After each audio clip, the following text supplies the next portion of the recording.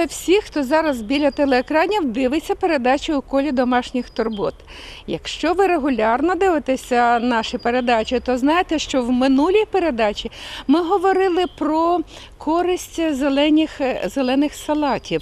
І тоді Наталія Земна пропонувала нам додавати до салатів не тільки е, ті овочі, які ростуть на грядках, а і ті, що ростуть в природі, дикоростучі овочі, тому що вони виявляються надзвичайно е, корисні. Хай в вашому салаті з'явиться декілька листочків кульбаби, подорожника, періяну, будь-яка рослинка, яка росте у нас під ногами, повинна бути в нашому е, салаті. І виявляється, що це надзвичайно корисно, особливо якщо в тих рослинках є горич, яка прочищає всі жовчі, жовчні протоки, чистить печінку і так далі. Але я вам обіцяла, що в наступній передачі, тобто в цій, ми будемо говорити про трав'яні чаї. О, скажете ви, е, нарвав трави, насушив, е, всяких листочків, е, поклав у заварний чайничок, заляв водою. Ні, це буде не чай і не заварка. Як правильно зробити ферментований чай, такий, який буде справді лікувальним і корисним, нам розкаже Наталія Земна. Наталя Петрівна, ви знаєте, що дуже багато людей, ем, і це радує, е, почали вживати вже не просту заварку і не зелений чай, про який ви говорили, а використовують е, квіти. До прикладу, збирають квіти з усіх дерев, е, які квітують, висушують їх. Ну, що собі там придумують. А, а що ви скажете про такі чаї? Чи корисні вони, вони? Чи це просто якісь напої такі? Одна причина всіх захворювань це невігластво. Перша бездуховність, а друга невігластво. Людина бачить, людина знає, от, е, що то росте трава, а як її застосувати, яку вона користь принесе і яку вона може зробити шкоду. Бо ж найперше правило у лікуванні це ноляноцере не зашкодь. І людина не знає. І така людина невіглас може не тільки себе не пролікувати, вона собі може завдати шкоду. Ось ви знаєте, так добре на телебаченні. Ось ми беремо якусь рослину і ми її показуємо, щоб людина побачила, як вона виглядає, які квіти у цієї рослини, е, як можна її приготувати, який, яка технологія, який рецепт. І ось про чаї. Люди п'ють чаї, дивлюся, там якісь там карпатські, закарпатські, кримські, волинські, багато дуже є чаїв, квітковий чай. Ну, одним словом, чаїв дуже великий перелік. Але дивлюсь на ті чаї і бачу, що то не чай. Це неправильно. Це, ви знаєте, людей вводять в оману. То зовсім не чай, то збір трав. Взяли, зібрали квіти, Посушили. скомпонували, висушили їх, потім зібрали їх по якійсь там рецептурі і написали, що це чай, який лікує там е, серце хворе, або ж нирки, або печінку, або ж заспокійливий чай, тонізуючий чай. Зовсім це не чай. Це просто збір квітів, це просто збір трав, це збір листя, збір рослин. Чай не може назватися чаєм, якщо він не пройшов ферментацію. Ось відносно зеленого і чорного чаю. Чому зелений чай розтягує всі органи і судини, а чорний чай тонізує? Тому що чорний чай пройшов ферментацію, зелений чай просто висушений. І ось якщо ми готуємо чай, а ми повинні за літо наготувати чаїв, ми тоді приступаємо до підготовки чаю. Зірвали ми листочки, наприклад, чай з іван-чаю. Там треба брати не квіти. Люди беруть квіти, висушують і кажуть, що це чай з іван-чаю. Зовсім це неправильно. З іван-чаю треба брати листя. Іван-чай – це кіпрей, хаменеорій вузьколистий. Ось треба із нього, коли він цвіте своїми рожевими квітами, його треба брати листочки і зробити, приготувати чай. Для того, щоб готувати чай, можна брати будь-яку рослину, не лише іван-чай. Ви вирішили приготувати чай для того, щоб лікувати з застуду.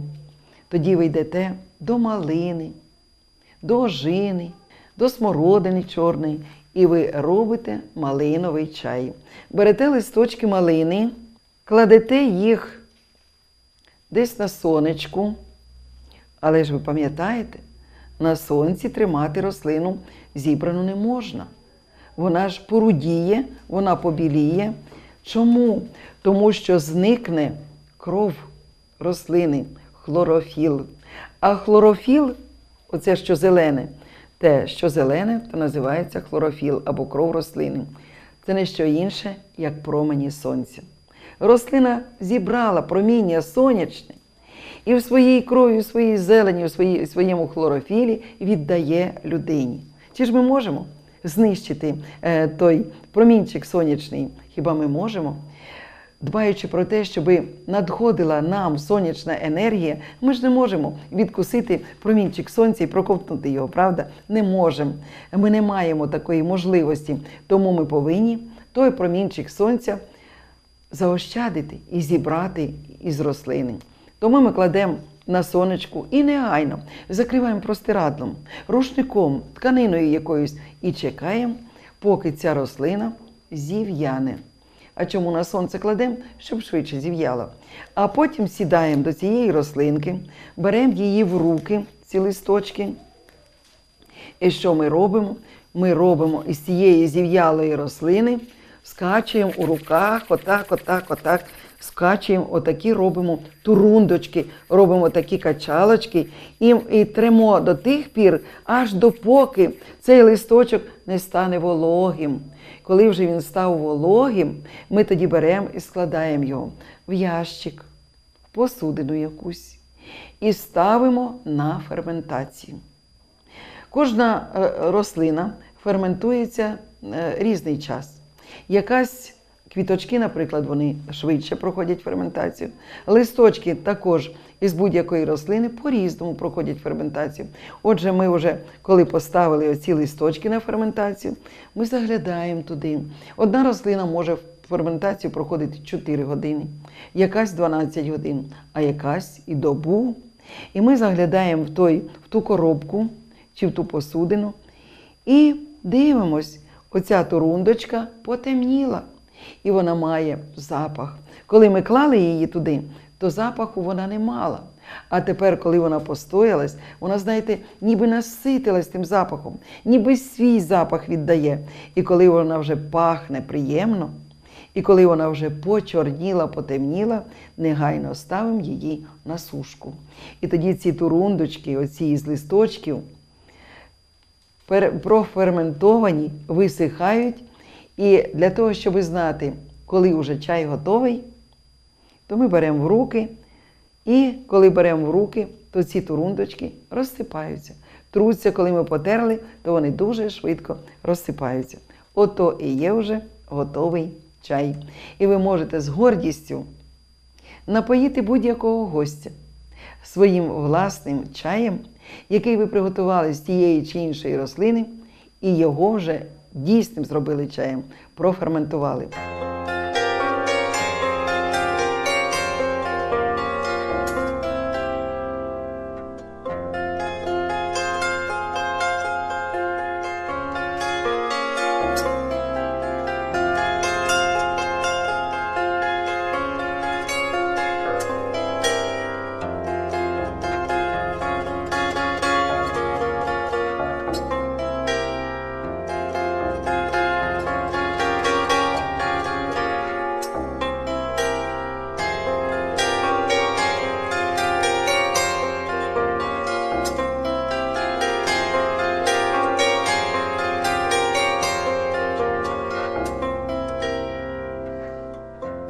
Чаї також можна компонувати.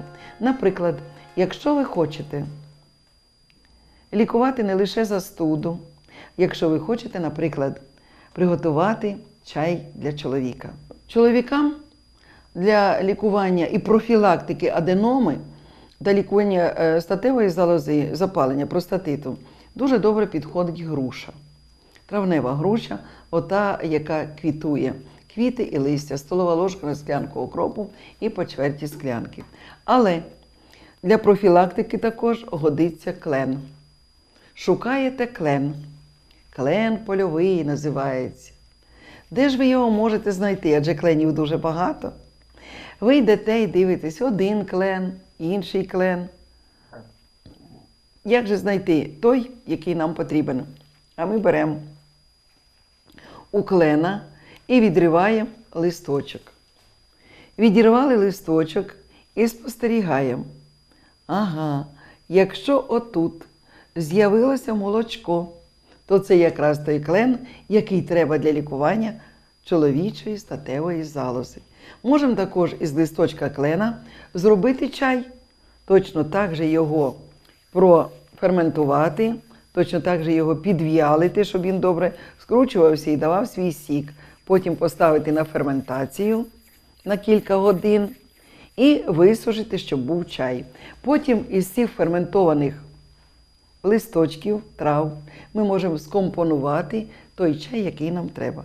Наприклад, від застуди ми беремо малину, можемо додати калину, можемо додати ожину. І для того, щоб той чай був духм'яний, про смородину чорну також не забувайте. Додати чорну смородину, бо листя чорної смородини підсилює дуже імунітет, нормалізує роботу шлунка і лікує ще таку е, хворобу, яка вважається невиліковною, відновлює функцію е, наднирників, лікує адісонову хворобу. І якщо ми хочемо, щоб чай був із гарною віддушкою, тобто, щоб він був духм'яний, щоб він був приємний, то ми додаємо також м'яту. Але м'яту також треба проферментувати. Тоді вона віддасть всі свої пахощі, всі свої ефірні олії і збагатить ті трави, які ви підготували в чаї, і підсилить їх дію. Тому ну, м'ята, чому називається м'ята? Тому що вона пахне тоді, коли її пом'яти. А коли ви її проферментуєте, то вона буде вам дати, е, буде давати такий е, аромат у чаї. І ось я часто кажу: не пийте чай із м'ятою. Але ж бачите, якщо ви дасте кілька листочків м'яти, проферментованих до чаю, то ваш шлунок не постраждає. А якщо ви просто зірвете м'яту і заварите її, і будете пити такий чай багато і часто, то шлунок ваш розтягнеться, понизиться кислотність, і він не буде працювати нормально. Тоді вже треба його підсилювати. І капустою, і цибулею, і пшоняною кашею, і подорожником, коли шлунок такий нездалий, коли він розтягується, бо ви випили багато м'яти, то ви тоді берете листочки подорожника. Листочки подорожника вилікують ваш шлунок, і якщо, не дай Бог, там з'явились на слизовій оболонці ерозії, а шлунок розтягнутий, а шлунок працює погано, то ви берете листочки подорожника і додаєте до чаю. Або навіть можна взяти листочки в столову ложку, заварити склянкою окропу, настояти і пити по чверті склянки 4 рази на день. Якщо е, ви, е, наприклад, хочете там е, пролікувати жінку, то тут треба шукати жіночі трави. Це і калина також, і ожина, листя ожини, і материнку додати. Якщо ви хочете тонізувати взагалі, щоб людина була в тонусі, то ви шукаєте тоді гіркі трави. Так, полинові. Ось саме так. Ось така є трава тархун. Трава тархун. Вона тонізує людину, а разом з тим і заспокоює нервову систему. І дуже приємно пахне. Дуже приємно. Тож треба брати траву тархун і також можна робити віддушку. Якщо шлунок атонічний, і якщо ви не хочете, щоб понижувалась кислотність і е, заспокоювався шлунок, то ви можете замінити, замінити м'яту травою тархун. Ось так готуються чаї. Якщо ви готуєте чаї, для того, щоб заспокоювати нервову систему. І хочете, щоб цим чаєм можна було, ці чаї можна давати і дитині, то ми тоді беремо кануфер, кануфер, калуфер. Кануфер ми беремо, трошки він зів'яв, він дуже тендітний і ніжний. І ми знаємо, що він знеболює, він усуває біль. Якщо навіть болить голова, то ми беремо його листочок, можемо прикласти до скроні е, верхньою частинкою, покласти на лоба компрес такий своєрідний із кількох листочків, і голова за хвилин 10 перестає боліти. Якщо є маленька дитина, то можна покласти кануфер у колиску дитині, щоб дитина спала спокійно, щоб вона була спокійною, розумною і, звичайно ж, добре росла. Кладемо кануфер. Кануфер додається до всіх напоїв, які господині готують вдома. До будь-яких. Навіть можна додавати до узвару, до чаю, до відвару, до компоту. А до чаїв, які ми приготували, кануфер можна додавати геть до всіх. Якщо м'яту не можна, тому що вона понижує кислотність, якщо таргун не можна, бо він тонізує і гіркуватий, то ми беремо тоді кануфер. Це така рослина, яка вважається універсальною. Або такою, що вона ніде не зробить ніякої шкоди. Ось саме так ви можете використати все те, що росте у вас в городі, і те, що росте у природі, а особливо те, що розквітло. Хочеться, щоб всі люди на землі, на зеленій планеті, а особливо у нашій державі, в Україні, щоб всі люди були щасливі. Бо ви знаєте, найбагатіша, найкрасивіша, найцілющіша природа в Україні. І ми повинні її знати досконало. І здорова кожна та людина, яка живе в гармонії з природою. Тож, коли є вихідний день або якась можливість, ніколи не сидіть вдома, навіть взимку. Ідіть до зеленого лісу, на лугівку, в гай, у садочок, в город, до своєї грядки, до своєї клумби. І беріть все те, що виросло в природі, що ви посадили своїми теплими дбайливими руками, і воно дало свій урожай. Найсмачніше те, що ви виростили. Отже, ви зрозуміли, як правильно готувати ферментований чай? Бачите, наскільки це просто, і у всіх він вийде. Варто тільки, щоб зів'ялі листочки скрутити у такі трубочки, висушити і розкласти по баночкам. А можете просто зразу е, зробити якісь е, такі збори для чаю. Е, До речі, хочу вам е, сказати, як, як можна е, визначитися, хороший ви чай купили в магазині чи ні. Якщо ви покупуєте такий пакетований чай, то фахівці радять занурити цей пакетик у холодну воду. І якщо вода підфарбується і буде схожа на чай, так і знайте, що ви придбали е, фарбований чай. А якщо він не зафарбує, то це вже е, хороший чай. Але все ж таки заготовте спеціальні чаї зі своєї дачі, трав'яні і з будь-яких листочків дерев і е, кущів. Я маю на увазі, е, що це свого саду. І ваш чай буде тоді лікувальним і корисним для всієї сім'ї.